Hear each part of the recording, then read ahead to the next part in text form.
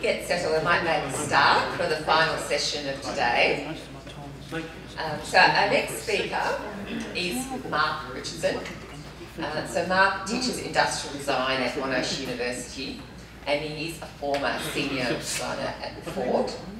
And he'll be speaking today on um, ideological democratisation in design from Henry Ford to maker culture. Please welcome Mark. Again, everybody. Um, yeah, my term a bit strange that I'm comparing maker culture to um, Fordism, but um, by reading Ford's um, biography or autobiography, there's a lot of correlations which I found between his ideological um, ideas and those which we're currently seeing in, in maker culture, um, although they're expressed in, in different ways. So on the screen here, there's Neil Gershenfeld is to your left. He's the guy that wrote um, uh, the book Fab, um, uh, The Revolution on Your Desktop, um, from desktop um, computing to uh, fabrication. So he, in 2005, he released this book talking about the democratization of tools in order to be able to, for, for people um, to have equitable access to means of making things. And that was almost exactly 100 years after Henry Ford produced the, or, or manufactured the first Model T, um, which was to democratise um, personal transport or make accessible personal transport. I'm using the, the, the word, uh, the term democratisation quite loosely here. Um, but the transport, uh, car transport and personal automobility was, would be made more accessible to um, uh, as many people as um, could afford it. Well, he, he lowered the, the boundary, uh, the, the price boundaries so that um, regular people, the people on his, on his um, production line could afford the cars that they were making. So I've, I've come from Ford and I actually found this study a, a really kind of eye-opening experience. Um, having designed at Ford, I was never exposed to any of these um, kind of ideas. Um, so I, I, I designed glossy cars um, that were made with high-end machines and through highly technical processes. But now my research is in how I can take some of these ideas of moving people around and make them in ways that um, anybody can have access to. So um, this little Veilmobile up, up on, the, on your right, um, result of my PhD study, and it's a tensegrity structure for those of you who are um, uh, au fait with tensegrity. Um, uh, and um, Kenneth Snelson and Buckminster Fuller's work. Um, it is a fully tenseg tensegrity structure, so um, it, it, works quite well. I can show anybody who's interested afterwards. So talking about how we can make lightweight structures, this is made out of components from the tip. Um, and then I've designed a little 3D printer for my first year students to make, um, which is using off-the-shelf components, um, standard extrusions, and um, electronics that you can get um, very cheaply on, online. So I'm trying to blend some of these ideas um, in a design practice. So the car is facing a, a range of issues. We've, we've expressed these, um, or they've been expressed throughout this conference um, uh, by quite a few speakers. Um, but we're also faced with a, a socio-technical change that, that's, that's really quite interesting. Like there's, there's these shifts in technology and, and cultural development um, that are going hand in hand to really reshape the way that we engage with the world around us and with products that we use on a daily basis. Looking at um, um, virtuality and autonomous systems. Um, uh, mobile distributed factories, 3D printing cars. Um, the additive manufacturing side of things is, is growing at a great pace. Um, and in terms of being able to uh, appeal to um, economies of scope, it, it's making a huge difference. This is Nervous Systems. Um, they're a company that uh, in Europe that, that um, uh, have a generative system that anyone can get online and parametrically alter uh, the geometry of, of um, the parts that they're, that they're working with. Mostly it's jewellery, but they've developed this dress, for instance, up here, that You can alter the geometry of the parts. It compresses the dress down into a form that fits into a small um, 3D printed um, bed volume or build volume. You print it and then it expands out to be a, a, a dress. So these sorts of things are really changing the way that we consider production and, and the way that we think about mass production. That, that um, the old production line, while, while there is um, huge value in production lines in terms of efficiency, that there's this subculture of um, uh, distributed and, and localized and, and um, the long tail, I guess, of production, which means that anybody can have a go and put it up online and, and sell something. Um, so we're seeing this shift in terms of um, standardized products or the standardization of products to the personalization of, of products, and these are being um, mediated by, by digital tools like 3D printers, CNC machines, um, laser cutters.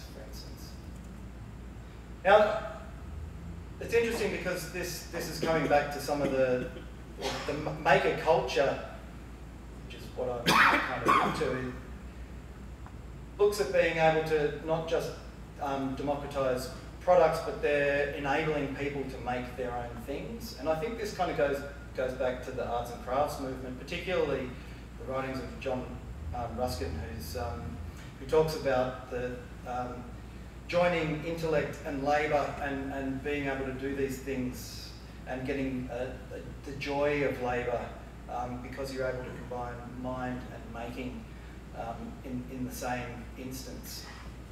Um,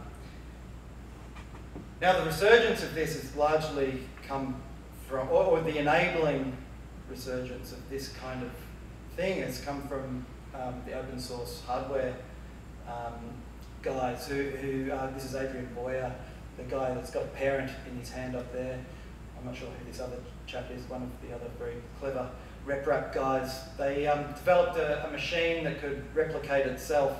So on, on, on your left is a Stratasys machine, that's a 3D printer.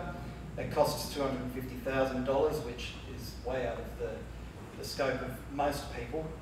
Adrian Bowyer, uh, some of the patents have run out on that machine, and Adrian Bowyer thought, well, why don't we take the essence of what that machine is and make it available for people to buy for just over $1,000 US. Um, and they did. And so the whole RepRap movement was born. It's an open source machine. It's um, uh, mediated by a, a, an entire digital network. People are sharing ideas. There's forums. There's um, troubleshooting you can go and talk to people on the other side of the world and, um, and, and get advice as to how you might fix an issue that you, you have with your machine. It has version control and it's, it's, um, it's set up um, as, as a, in the same way that an, an, open source software system might be set up. It, it's an open source hardware system so that um, uh, anybody can, can access this and add back into the network. And as a result of that, we're seeing a whole range of 3D printers coming out, commercial 3D printers now for the domestic market. Now, I know a lot of people are, uh, are saying, well, we haven't got anything to do with them yet, so what's the point? And yes, I agree, at this point in time, we're kind of still making landfill with, in, in many of the cases with these, but I, I feel like there's this growing connection to the, to the manufacturing tools that will enable um, uh, a more granular distributed network for future um, the, for, um, future iterations of, of, manufacturing. So that maybe we can um, establish a, a, digital or a, a web-based system that groups together these disparate um, machines in people's homes.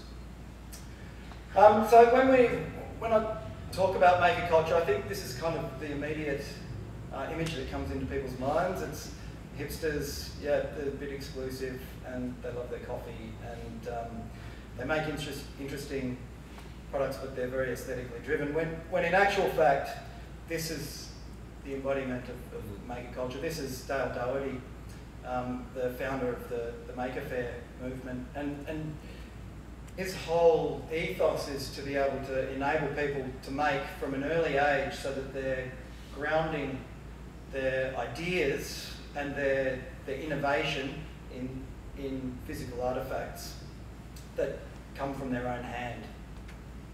And some of the examples of this, um, there's uh, an electronics um, system called littleBits, where you can buy these little modules for electronics and you can build up systems from these modules to do anything that you want them to do. Um, Open Structures have set up a, a, a template for designing components so that you can swap components between different products.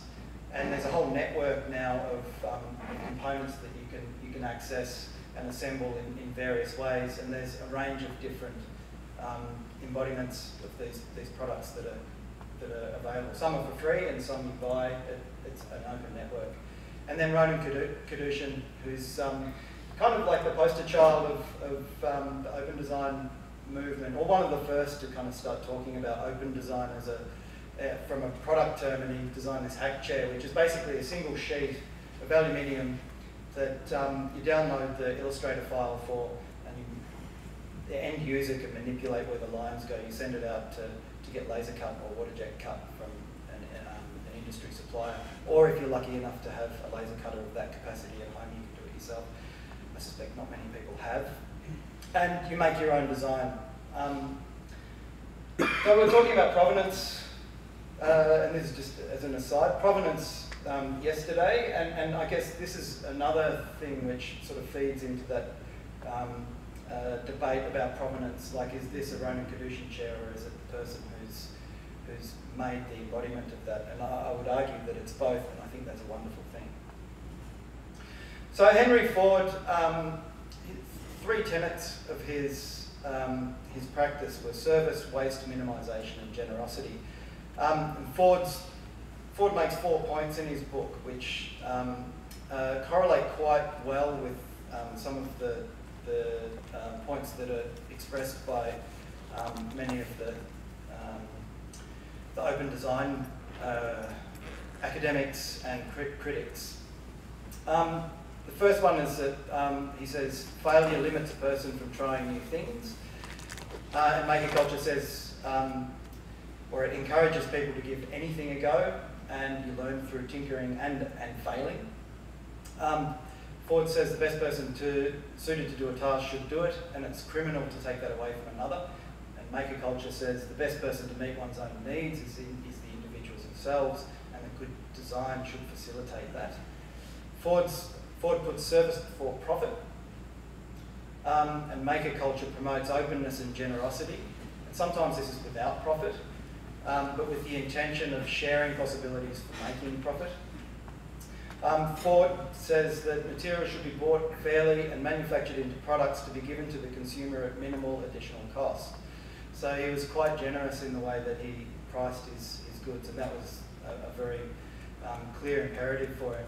And maker culture says, um, or gives access to the tools with which raw materials can be shaped and the artifacts by the end user at, at material cost. So, for instance, you've got a 3D printer, you buy a spool of material, you can make anything from that spool of material within the limitations of the machine that you have. So in the ideological expression, expression this is where the two divide. Um, Fordism uh, is an object-oriented system that is all about the product and making the product available and um, maker culture is systems orientated um, that make systems orientated products so that there's a system that's got the primacy rather than the product itself. Fordism um, pre-makes artifacts to go to market, whereas ide the, the ideological expression of maker culture is to make your own bespoke artifacts based on things that you can download off the internet. Um, Fordism looks at systems um, efficiency, optimized for material flows, and maker culture uses energy efficiency or, or advocates energy efficiency. There are a few researchers that, that have talked about this, Joshua Pearce for one of them, and um, Jeremy Rifkin has talked about this a bit too. Um, so optimising energy for, for on-demand access, given that you are making these things in your own home, the energy consumption required is very, very minimal. Um, there's centralisation versus decentralisation, um, hierarchical versus flat-ish, um, uh, labour hierarchies, I suppose, where uh, flat-ish because there's still people who, uh, the webmasters, I suppose you'd call them, that, that govern what goes on. Um, standardisation versus personalisation and micro-control, like a, uh, in, from my experience in, in industry, you're controlling each surface to a, a tenth of a millimetre, if not, if not smaller. Um, versus macro-controlled systems um, that uh, are able to integrate this raft of input from um, external sources or people, the citizens out there in the world. But Ford does sort of have some of the, or does correlate with some of these modularized ideas, like thinking of open structures before. The Model T Ford does express some of these ideas. You can see that the, this, this vehicle had a number of embodiments, and there were common components that were um, designed to fix the, the vehicle together. Um, so you could personalise the vehicle in this, in this embodiment. Um, however, he did sort of sacrifice the, the, I guess, what the arts and crafts movement would say, um, he sacrificed the, the joy of labour in that process. Um, I mean, some people may enjoy doing this, but I suspect that a lot of people would prefer to be doing other things, living. But at some, at, at a critical point in time, and, and um, there have been a few people that have talked about this already, and, and, and Penny in particular, um, with the 1927 Buick LaSalle, um, when um, Alfred P. Sloan commissioned Harley Earl to come in and integrate the aesthetic of the vehicle into a um, into a, a, form that was sleek and beautiful and had dynamic lines. In doing this, he separated the form from the function of the vehicle.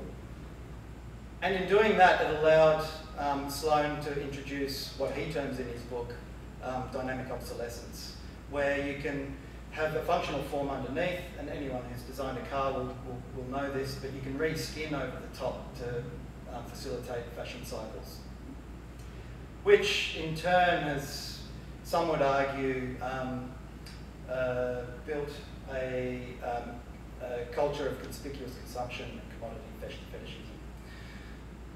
So I'm going to skip through, I've done quite a, through a lot of my time. Um, but I would argue that we we're on a continuum, we're moving towards the idea of the, or the objectified object, or the, the goddess, which you can see these people objectifying the goddess, um, to the integration of, of ego in the form. And so we become godlike ourselves, although that's a half-formed thought. So um, I'm sure there'll be people who take umbrage to that. So um, we're coming back to, to maker culture and factory scenarios. There's a, a, range of different ways that things can be made, but this is a fab lab up in the top left up here, and this is a micro um, factory, a portable micro factory on the, the bottom right, uh, bottom left there, top right is the um, top right is the Fab Lab, and then this is Tesla's robotic uh, gigafactory there. So um, there's a range of ways that we can approach making things. But essentially what I'm saying is that the home be can become hard, um, a factory in which the distributed um, networks can embed themselves in our day-to-day -day lives. There are a couple of examples of this. Uh, the Local Motors Strati, which is the first 3D printed, uh, um, I guess it's a unibody uh, design that um, printed all as one, print and, and following some of the, the, the, key tenets of the Model T Ford, it's simple. They, they, there's four, uh, 40 um, assemblies that, that are involved in making this vehicle, so it's super simple. And if you've got a machine, you could actually print one of these at home. Although at the moment, and this is part of my next research project, is, is making a machine that's big enough to do this, that's accessible to the general public.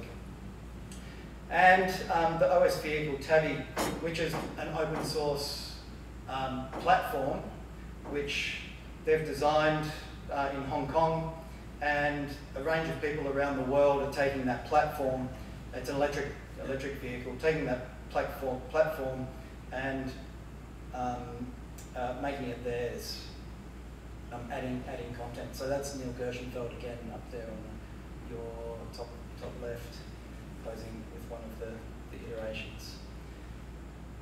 And then there's another vehicle which is quite significant as well, um, Divergent Microfactories Blade, and that's a modular construction where they've 3D printed titanium uh, couplings to, uh, and joined by um, uh, carbon fibre rods that can be manipulated by length to change the geometry of the vehicle, which just means that you can dynamically update the vehicle itself. So I guess as a, as a final thought and, and um, as, a, as a question, I suppose, more than anything, and something which I, I'm, I haven't really thought through the implications of this and, and need to start to, but you know, we've got a socio-technical frame of automobility that's been with us now for over 100 years, well over 100 years, that has contributed largely to our urban environment and the way that we interact with each other. The question is, you know, and this is Adrian Bowyer again with his um, uh, RepRap Prusa design, um, what this democratisation of tools and the system in which people are able to engage and make their own things in an unmitigated way, what that means for the next hundred years. And um, if we're able to incorporate these things into, the man into manufacturing cycles, what are the wicked problems that we face as we move forward from here?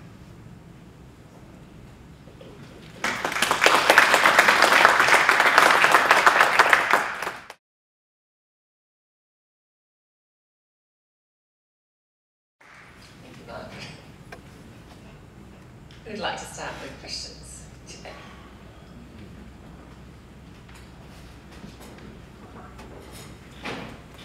Thank you. I have um, um, I'm a bit scared actually by the uh, so-named uh, makers culture, as it seems that the standardization process is uh, going um, so such in detail to decompose an entire knowledge and in some way uh, carve from the inside expertise of people that have constructed their own professional uh, professional boundaries of expertise but on the other hand just making these uh, um, uh, these artifacts uh, uh, close to people that don't have any expertise, it seems like we are decomposing, decomposing, decomposing the knowledge, and at the end uh, we are taking a step backwards instead of uh, taking a, a, step forward. Do you have any comment on that? I do, I do. I've got quite a few comments on that. Thank you very much. That's an excellent question. Um, I would say that this is bringing together the the top level knowledge and the everyday person. Adrian Bowyer is a, a well-renowned academic in his field and he's, um, he's deliberately gone and made this machine to be accessible to everybody and be able to make it in ways that maintains that, that quality.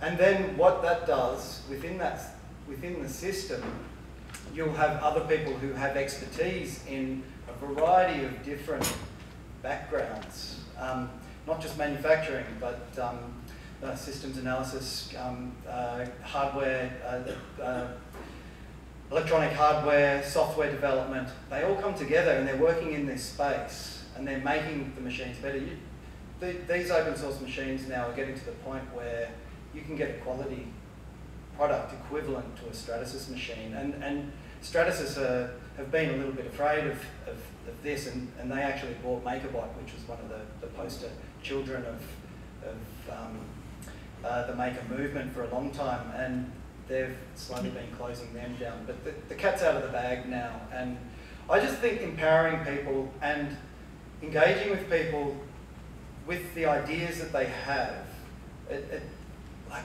I feel like as designers we often patronise people, and but I think they often know what's best for their own lives. Is that me? Must be. Um, and and um, in, in enabling these meta systems, which have quality control built into the meta system, that you can actually have people engage on a more intrinsic level with the things that they're they're using on a day-to-day basis. And I'm hoping that that level of attachment and intrinsic, or that intrinsic attachment comes some way against that commodity fetishism that we, we kind of experience through these mass production processes. That, does that answer your question? I don't think it does, but uh, it probably doesn't answer your worries. But um, yeah, it, it's it is it's scary. Um, but I've seen it working in ways which is fantastic. And my first year students are doing this, and they know very little about this, and they're already having amazing ideas about how they'd like to upgrade their machine before they've even built their machines. So it's like, wow, okay. And if you have an open source network where other people can access these ideas and build on those, because sometimes some people don't have the ideas to begin with, but can build on other people's ideas with the expertise that they have, and vice versa. So so I just think, yeah, it's, a, it's an exciting and at the same time worrying um, as a, a, movement forward. But I think, yeah, we'll have to figure out ways of being able to mitigate the, the bad stuff. Uh, Mark, I, I couldn't help but see a parallel there with flick back to the 18, 1890s and the maker culture of the likes of Vivian Lewis building of vehicle in South Australia, Herbert Thompson, uh, you know, Fazakerley and so on in Sydney. I, I, I just see that parallel. They got the germ of an idea from what they read in the communication at the time, the newspapers and the trade journals, yep. um, trade journals for coach builders mostly. And, and then they just set to in a lot of the things you had on that right hand side of some of those diagrams. Yep they were makers um, using the technology the time. I, I, don't know if it was just me, but I could see a lot of parallels there. So, yeah. That's it. I, I, actually, after, yeah, you, you're absolutely right. And I think that's that might be the next step for where to take this, is to start to bring it back to Australia and talk about how we've kind of engaged uh, with development of the automobile and, the, and automobile culture over time. And um, yeah, I mean, I, I, I, I love those stories of these inventors that do amazing things, and then it just, you know, start a whole um, uh, a new movement. I, I, I, just made a comment to extend that actually because I think it's, it seems to be something thematic that is coming into every wicked problem that we are facing as a society. I heard the same comment made about food in Canberra at the start of this week and food security and connection to food. I've heard the same thing said about the, sustain, the wicked sustainability problems that we face as well. It's interesting, it just keeps on coming up. Looking back 100, 150, 200 years and reflecting. Yeah, we're at the beginning of another cycle.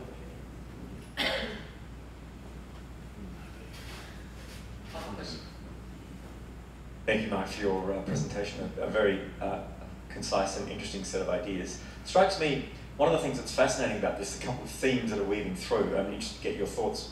One of them is clearly mobility as it evolved as a, uh, a we'll call it a democratized platform, has had not just a mobility effect, but uh, an entirely a lifestyle effect and architectural and global impact. So that the way we live, suburbia, while it was created by the train, literally was sustained and, and, and made mature, if you use that term, by the car. So uh, these new, and it could be argued that in a way the access to production on a very broad scale that the car uh, generated, I mean, it has created things um, like hot rodding, which of course there's lots of in Castlemaine, and the idea of people, of people, it's created a language to allow access. Now, this, this, the um, generation of maker culture, which is kind of a materialization of the digital revolution that occurred in the 20th century, was in many respects um, mainly an educational revolution in the sense that the internet, it doesn't replace education, but it sure as hell provides a very powerful democratic tool. Yes, it needs curation, and there's a lot of discussion about how from within things like these universities, we can do things to help uh, guide people uh, at least to evidence-based knowledge. So it seems to me that um, the irony is that in some respects, when the car was first invented, I don't think there was a need for it in a way. The need for the car got created by its presence in a sense. And it's clear that if you were, had the money to buy a, an early Daimler Benz or the European cars, it was just an extension of a, of a luxury lifestyle. And it could have been anything, a boat, could have been more horses. But when it comes to Henry Ford and, and the creation of contemporary suburbia, that's a totally different, that's a platform that then needed it to maintain the lifestyle. So I suspect that this revolution will have the same sort of outcome. But I guess it leaves us with a very interesting question. While we're contemplating the arrival of the imprimatur, the, the imperative of this maker culture, this distributed manufacturing, what kind of society do we want to live in? And what ought we be asking ourselves, should we be doing with this great ability to get everyone making again? I mean, you're now seeing this intersection of neuroscience and, and um, paleontology and archaeology suggesting, people like Lambros Malafouris suggesting that to make is to shape your mind, and so that is unbelievably significant as an educational tool, quite apart from democratising the making of things. So that, that's a question for you in terms of what it's going to take us somewhere. We want that to be a good place if we can possibly help it. Yeah. What might that be? Yeah, I, that's that's a huge question, isn't it? um, but yeah, just to um, to extend the the Malafouris um, uh, expression there that, that, he quotes Hutchins, who says um, that making is actually thinking, that, that you can't you can't separate the two. Um, that the made artifact is is it's a thought that's embodied, I guess, in uh, in, in materiality. Um, and that adds to culture and it feeds from previous culture. So it's a, it's, it's, a, it's a thought, not just an embodiment of a thought. Um, or it's thinking, thinking, not just an embodiment of thinking. But um, I, I, ro robots are probably going to start taking over the stuff that, that we would do in manufacturing anyway. If Tesla's gigafactory is anything to go by, yeah, that's right. So where does that leave the menial task? You know, well, not even the menial, white collar tasks are now under threat. Yeah, I mean, as soon as artificial intelligence um, is is perfected, I suppose, then then what do we do with our information management management systems, data? Like, we're just yeah. So so I, I kind of see it moving more towards um, empathy roles or, or care care roles, and maybe for the next 40 years at least, when the robots don't quite have the empathy to deal with us in a hospital in the same way that a human might, that, um, that until they do, that we've got a little bit of scope to play in there. But I, I would hope that as, as people, we, we, and through these making exercises, this is what the maker movement is demonstrating, that we are connecting with each other and developing an empathy for each other through this, through practice and that there's that shared engagement and shared building of, of something that um, uh, is greater than the sum of its parts, I suppose. Uh, but yeah, I can't answer the big, big question that's way out there, but I guess that's probably its closest. The temple, though, the temple description there in one is a really interesting thing for your. Your research, that temple progression and development and yeah. context that you just described. Again, thinking to the, the, looking to the past and what things have actually occurred. Like that could be a really interesting angle for where you take that. Yeah, yeah, thanks. The very fertile topic for discussion, but it's my job to move us on. A lot of the themes from this talk will continue in the discussion after the following one, I think.